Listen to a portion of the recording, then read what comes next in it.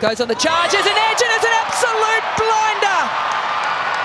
Perry with the wicket, but let's just have a look at this again because Alyssa Healy has taken one of the catches of the summer so far. Jonassen's done it, Schutt has done it, has Perry done it, a wicket in her first over. Thick outside edge. That is brilliant keeping. First of all, needed to make sure she needed to get the glove, the ball in that glove, make sure the ball didn't touch the grass, then had to protect the ball as well. Let's just check that it's not a no ball. A little bit of foot behind the line. That's a-okay.